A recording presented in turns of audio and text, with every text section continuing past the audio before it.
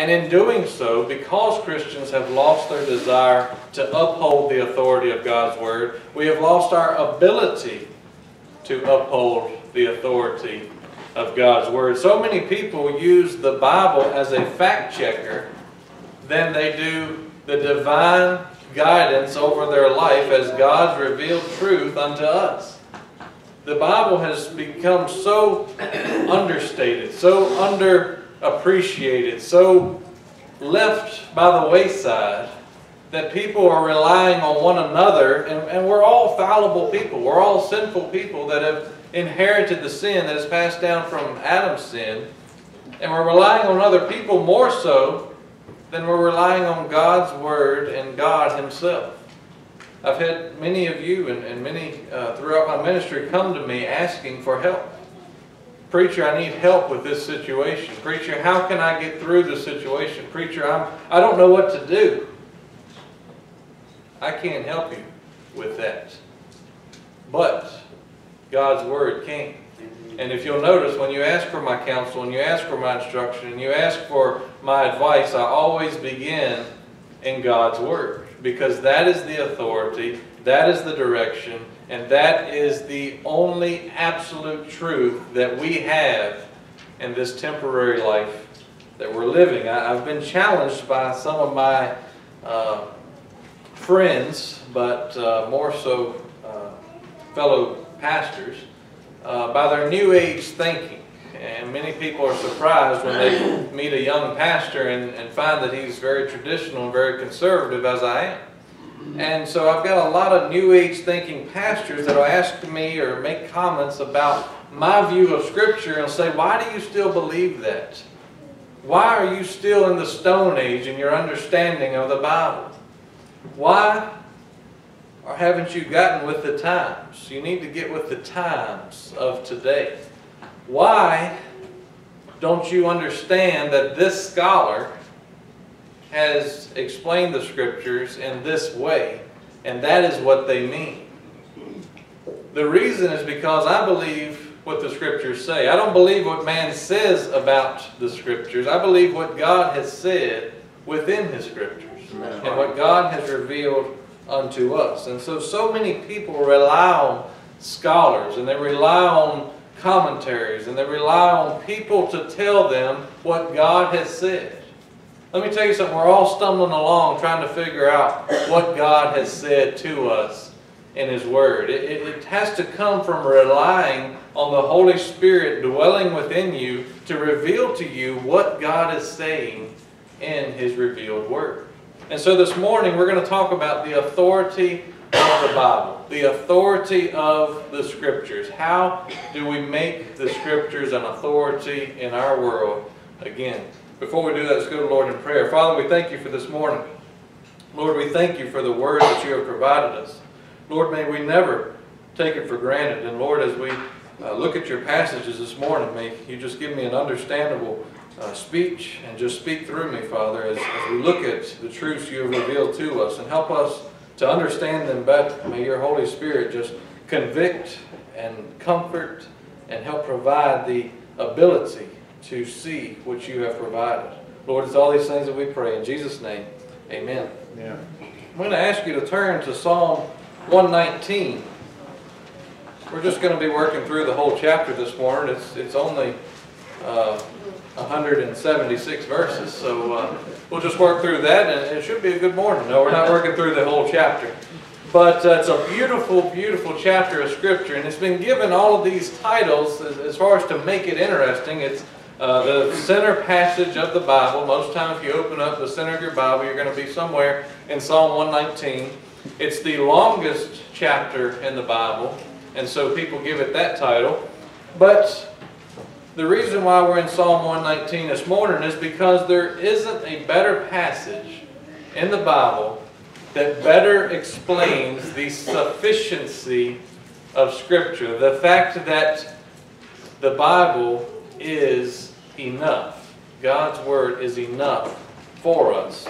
So in Psalm 119, we're going to be looking at verses 137 to 144. And this comes in a section, it's, it's about uh, this is the 18th section. There's, there's a lot of sections that come, and it's in 5 to 10 verse uh, spaces here. This one is entitled Sorrow. And so, beginning in verse 137 Righteous are you, O Lord, and right are your rules. You have appointed your testimonies in righteousness and in all faithfulness. My zeal consumes me because my foes forget your words. Your promise is well tried, and your servant loves it. I am small and despised, yet I do not forget your precepts. Your righteousness is righteous forever, and your law is true. Trouble and anguish have found me out, but your commandments are my delight. Your testimonies are righteous forever.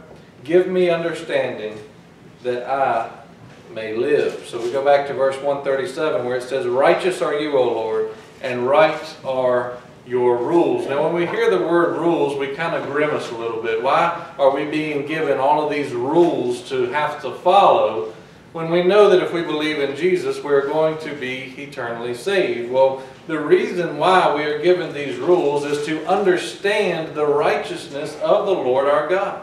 When God gave us His law and when He gave us His word as a whole, He has incorporated commandments or rules within all of it. And the reason why is to display His righteousness unto us, to help us understand what He what he wants, what he is asking, what he is requesting his people to live, how to live, what to follow, what to believe, how to act, what have you. That's why he has revealed his righteousness in his right or just rules.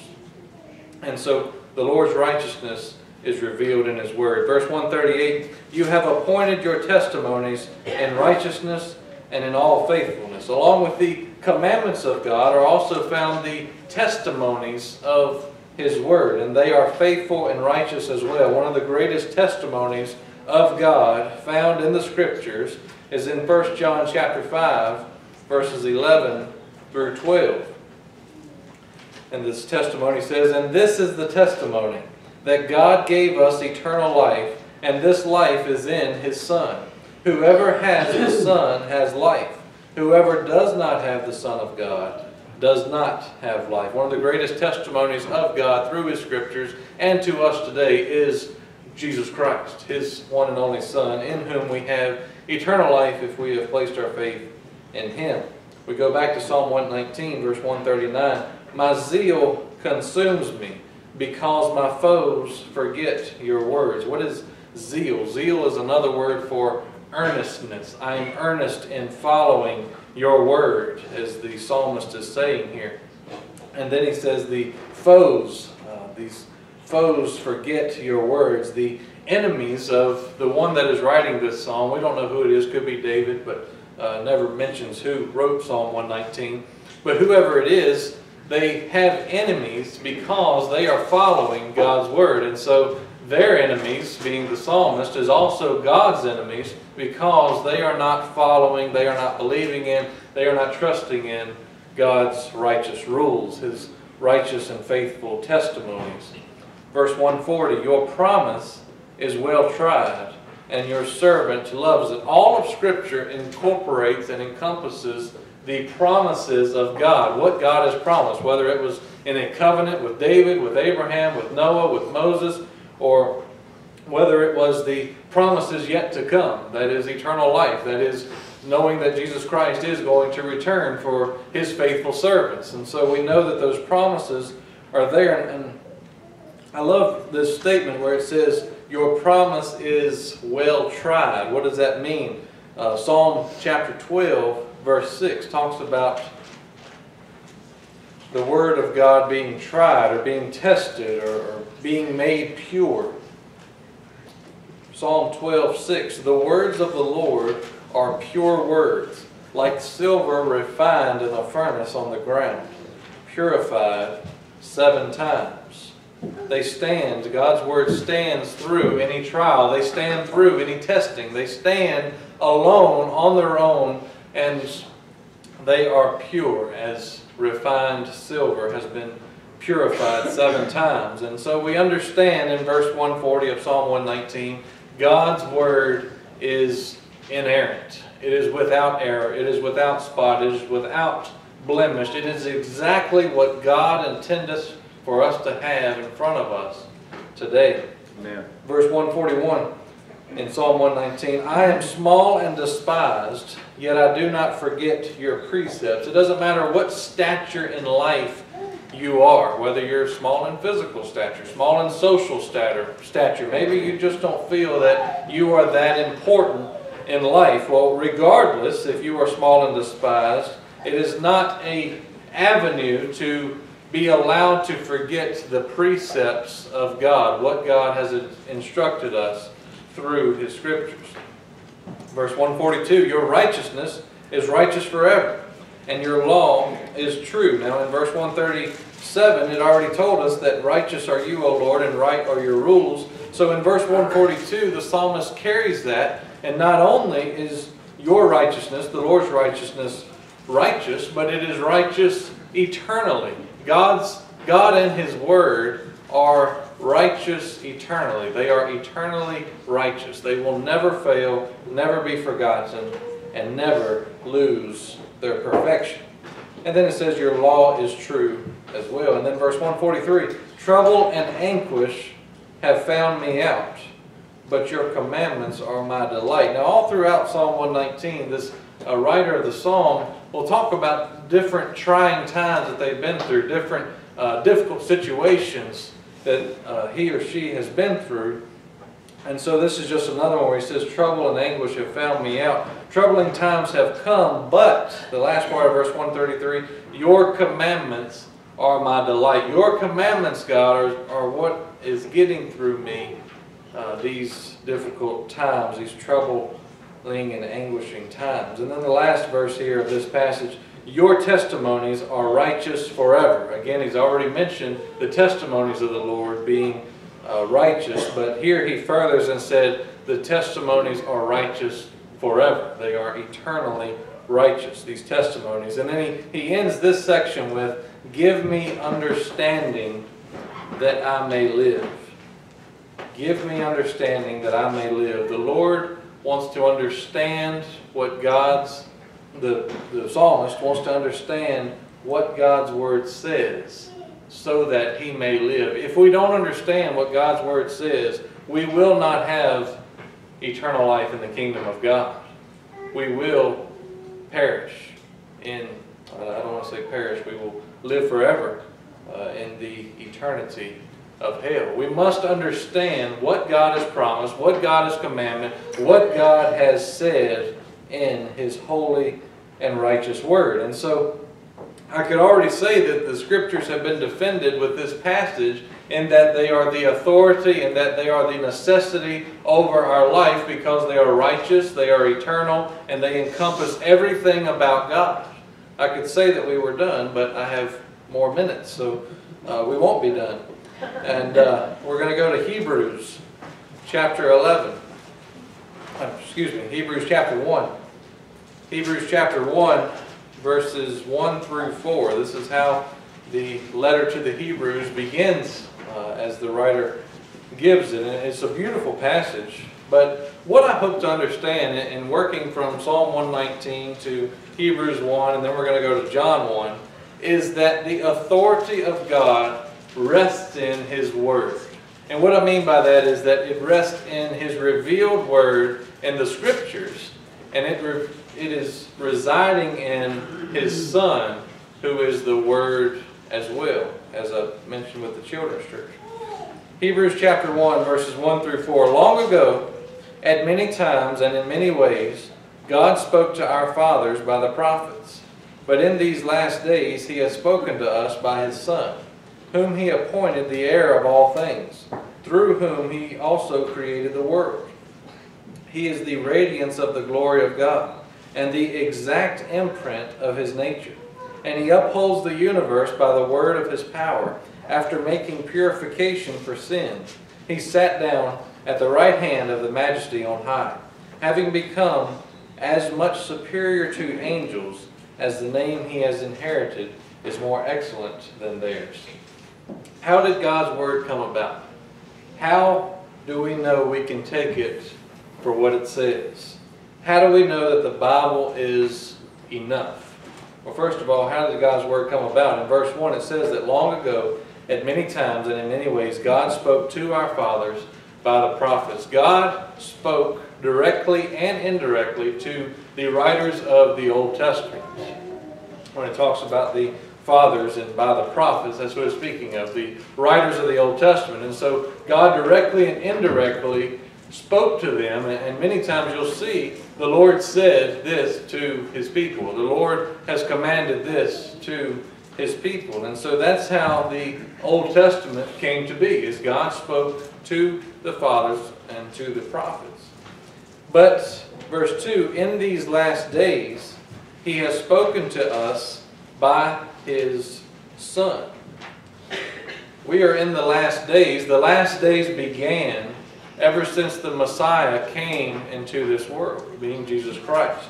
That's when the last days began, when he came and dwelt among us. And during these last days, God has spoken to us through his Son, Jesus Christ. That's why we believe that no longer man is able to perform miracles as, as Peter and John were able to as they're recorded in the New Testament. This is why we believe that man is not given revelation specifically from God any longer, but that we have been given all that we need through God's Word. This is His revelation to us, especially through His Son, Jesus Christ, as Hebrews chapter 1 verse 2 is telling us here.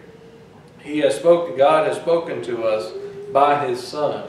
And so God revealed Himself to us through his excuse me, through his word and through his son. John chapter 1 verses 1 through 4 is what I just read uh, for the children. It says, In the beginning was the Word, and we know that the Word is Jesus Christ. And the Word was with God, and the Word was God. He was in the beginning with God, and all things were made through him. And without him was not anything made that was made.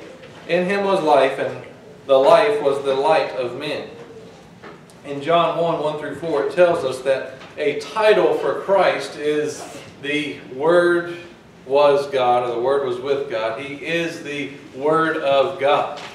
And so it's a very fitting title because he is the direct revelation of God to mankind, just as the Scriptures as a whole are the direct revelation of God to mankind. And so we can understand that. And then uh, we see that uh, back in Hebrews 1 3 that Jesus and the Father are one, and that the radiance of God's glory, He is the exact imprint of His nature, the sustainer of the universe because of God's power. So we, have looked at these three main passages Psalm 119, Hebrews 1, and John 1. When we look at them all together, what does it tell us? What do we uh, see as God has revealed it to us? What it tells us is that God's authority resides in His Word. His spoken Word in the Bible and His revealed Word in His own Son, the person, Jesus Christ. Both being righteous, both being eternal, and both providing life. If it were not for the Bible, then we wouldn't know how to become a follower and servant of Jesus Christ, thus having eternal life. And if it weren't for Jesus, then we would not have a Savior to place our faith in so that we would have the eternal life that the Bible has instructed us and promised us we will receive. I'm sick and tired of, of this one statement, and it's, it's a bunch of statements, but so many people this day and time are trying to say, this is what God meant to say. God didn't know that society was going to change like it has today. You have to understand in the context of this passage to, to understand this truth that I am trying to tell you. You still believe that? There have been so many scholars show you that that is outdated. Let me tell you something. If we start going away from God's Word, God is going to start going away from us. Amen. We have a duty to remain faithful to what God has directly given us and not trust in man's own opinion. So many times, and this happens not just with the scriptures, it happens, it's happening today with our Constitution, it's happening with so many of the directions of life that we have been given.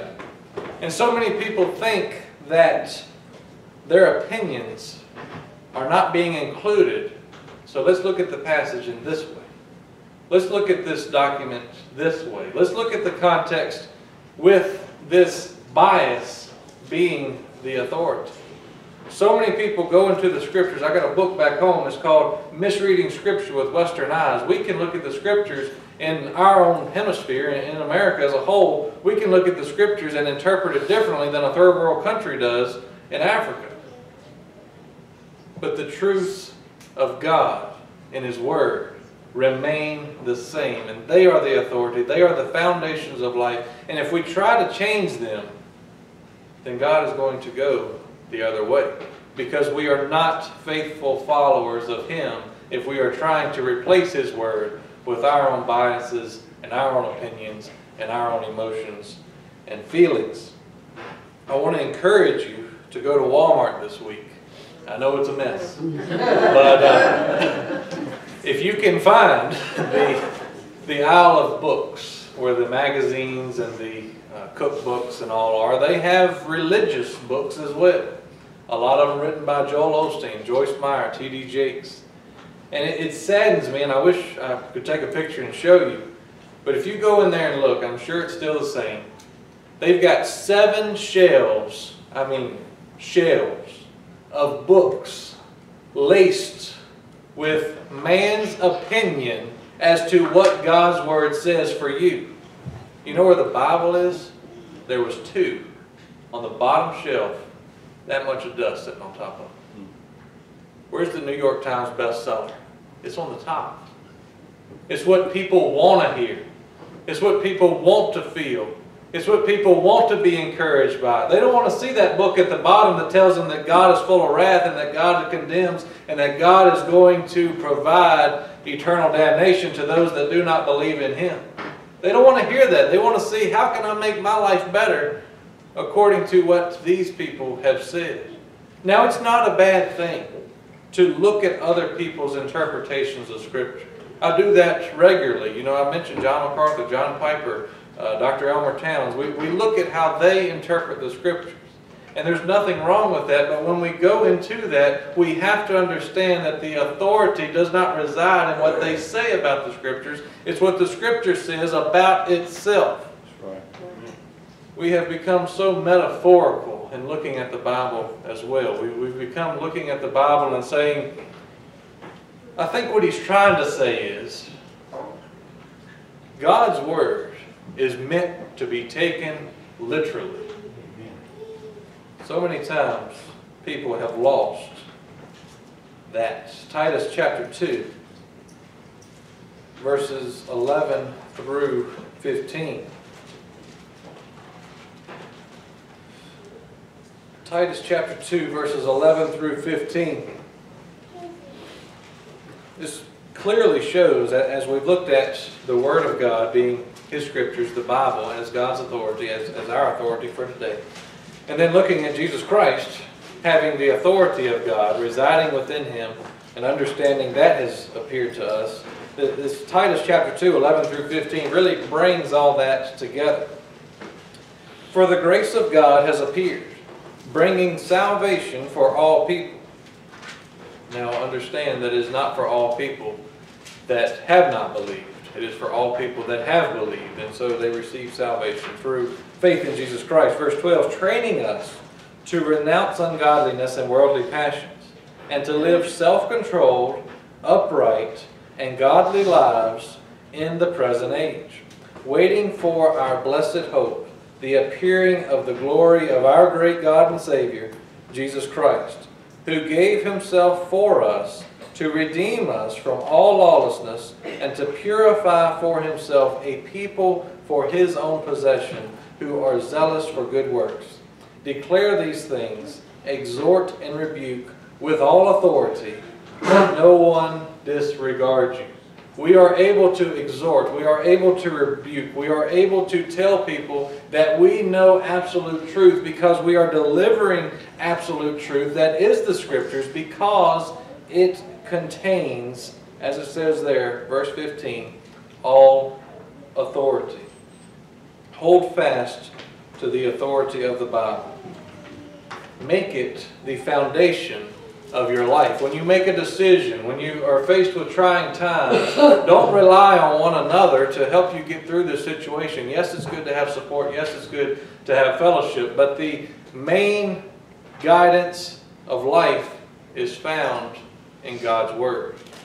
Through the understanding of it, through the application of it, we have blessed hope in knowing that Jesus is going to return. We know that Jesus is going to provide eternal life to those that have believed in Him.